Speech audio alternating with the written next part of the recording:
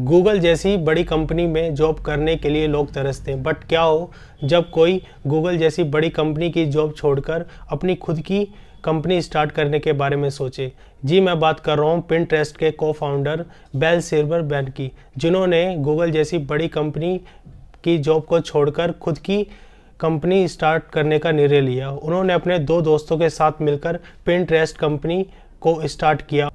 उनका नाम था Evan Sharp and Paul Sciarra Ben को हमेशा से ही चीज़ें इकट्ठा करने का शौक रह चुका था। इसी वजह से उन्होंने सोचा, क्यों ना कोई ऐसा प्लेटफॉर्म बनाया जाए जिस पर लोग ऐसी चीज़ें कर सके। और उन्होंने मार्च 2010 में पिंट्रेस्ट जैसी कंपनी को शुरू कर दिया। स्टार्टिंग में तो उनको ज़्यादा सफलता हाथ में नहीं आ रही थी, बट उन्होंने प्रयास करना नहीं छोड़ा और निरंतरन अपने काम में लगे रहे।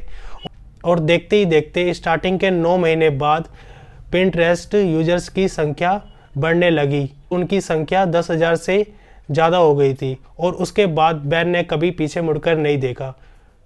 आज उस कंपनी की वैल्यू दस हज़ार मिलियन डॉलर से भी ज़्यादा है।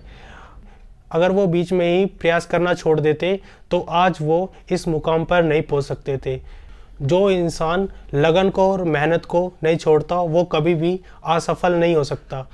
तो जो भी आप बनना चाहते हो तो उसमें निरंतरण लगन से और मेहनत से लगे रहें। आपको ज़रूर एक दिन सफलता मिलेगी। इसी तरह की मोटिवेशनल वीडियो देखने के लिए एंड फैक्ट वीडियो देखने के लिए हमारे चैनल को ज़रूर सब्सक्राइब कीजिए।